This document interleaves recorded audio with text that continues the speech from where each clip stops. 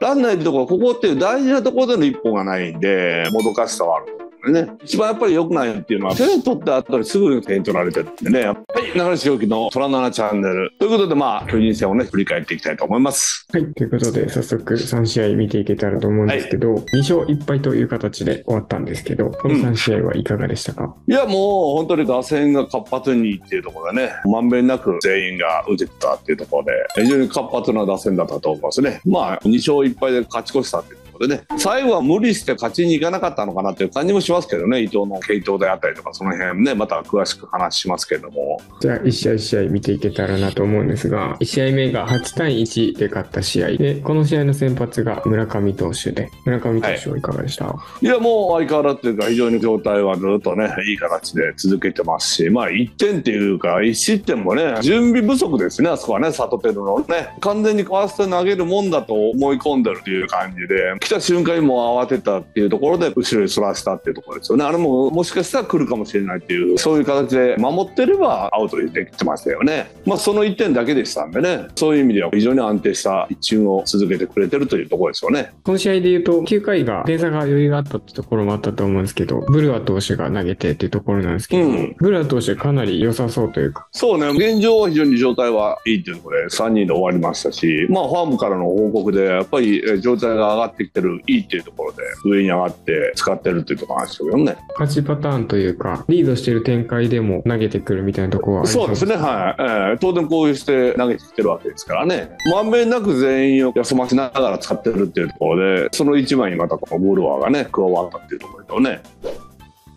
続いて26日の試合が9対6で勝った試合で、この試合が青柳投手だったんですけど、青柳投手はどうでした？まあ、青柳はもうなんとか5回投げて、まあ、勝ち投手にしてもらったっていうところでしょうね。球数的にはね、78球っていうところで全然余力があるっていう球数なんですけれども、やっぱりピシャッと抑えるっていう感じではなかったですね。一番やっぱり良くないっていうのは、手に取った後にすぐに点取られてるんでね、やっぱりそうなるとなかなかリズムに乗っていけないっていうところがあるんで、まあ、そういうところでぱり長いイニングは投げれるなと。ところでしょうね、まあ、それ以上に巨人のピッチャー陣が悪かったですけど、まあ、そこに救われたっていうところじゃないですか。青柳投手はコントロールが定まっていないっていうところが良くないところになるんですかね。そうですよね、はい、そこが一番だと思いますね。もともとやっぱり低いゾーンでボールを動かしていく、そしてゴロでアウトを取っていくっていうタイプなので、やっぱそこの制球がね、なかなか低いゾーンにこううまく決まっていかないっていうところで、ちょっと引っ掛けたりするボールとかね、抜けたりするボールっていうのがちょっと目につくからね、去年、一昨年のそう最多勝を取ってる時は低いゾーンのボールがしっかりと制球されて、ゴロアウトを取れてたんですけども、そこがやっぱりしっかり制球できてないっていうところが、やっぱりもどかしさが本人もあるんじゃないでしょうかね。5得点した後になんですけど、久々にリーフ陣がランナー出して打たれてしまったっていうのはあったと思うんですけど、この辺は見てていかがでしたか？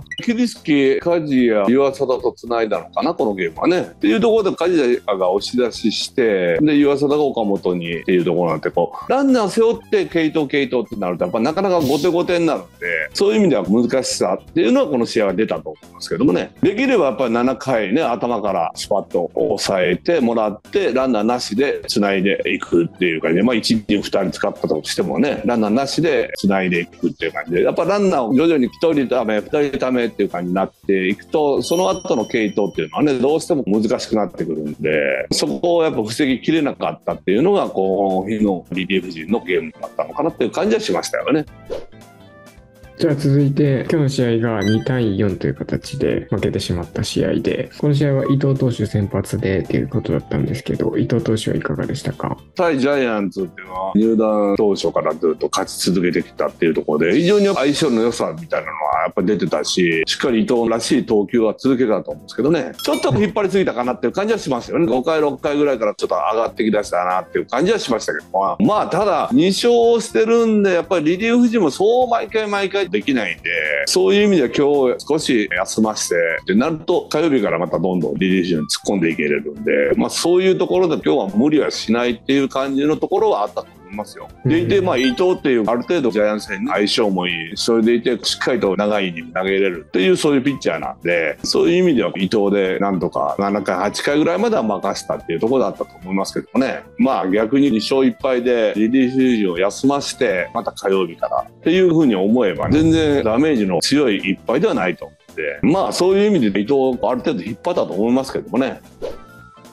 この3試合通してなんですけど、佐藤選手がかなり状態良くなってきてるのかなって思ったりしたんですけど、そうですね。非常に状態は良かったこの3試合ではないかなと思いますね。苦手としてるゾーンっていうところをこうなんとかファールに逃げて、あと見逃せれるようにっていうところが出てくればね、やっぱり低めの変化球っていうのはもともと対応できるそういうバッターなんで、その辺のやっぱ見極めができるかどうかっていうところですよね。その辺がしっかりできてたっていうこの3試合だったと思いますけどもね。この試合の後とかっていうと、ノイジー選手が割と不満というか、ノイジー選手に対する起用はどうなんだっていうコメントがあったんですけど、この辺は見ててどう？不安というか、まあ、ヒット1本っていう感じでシングルは出るんだけども、やっぱランナーいるところ、ここっていう大事なところでの1本がないんで、そういう意味でもどかしさはあると思うんだよね。ただ、どっちかというと、メイクチャンスになってたような気もするしね。だから自分で返すっていう感じのところではないんで、この試合で言うと、左ピッチャーが先発だったっていうところがあるかなとは思うんですけど、5番での起用が、あの後ろ2試合ではノイジー選手が回ったと思うんですうんうんうんうん佐藤選手が調子いいんであれば、左でも5番の方がいいかなみたいな感じですかね。現状ね、現状今の状態で言えばね、まあ左で来たんで、まあその辺はノイジーにチャンスが巡ってくるだろうっていうところで5番にしたと思うし、まあ佐藤は左ピッチャーだから6番の方にっていうところで、まあこの5番、6番ちょっと入れ替えるケース結構多いんでね、その辺はやっぱ相手のピッチャー、そして相性っていうところでの起用になってくると思うんだけど、あとその中で佐藤輝の状態とノイジーの状態っていうところも加味しながらっていう、今後はそういう起用になってくると思いますね。だから左であってもこう佐藤が5番に入ってきたりとかね、まあその辺は今後のゲームからはなってくると思いますよ。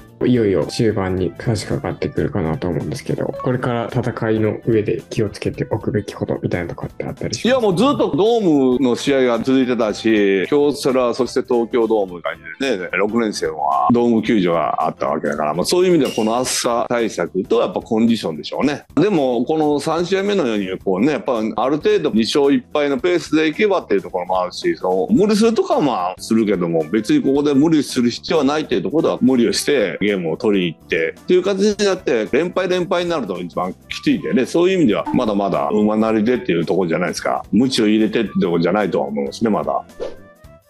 ということでね、2勝1敗で本当にマジックも順調に減していってますんで、いよいよあれに向けてっていうところをね、またコメント欄の方ね、皆さんよろしくお願いします。そしてチャンネル登録のよろしくお願いします。村地グループは住宅建設資材のエキスパート製造から販売配送工事までチームプレーによるワンストップ体制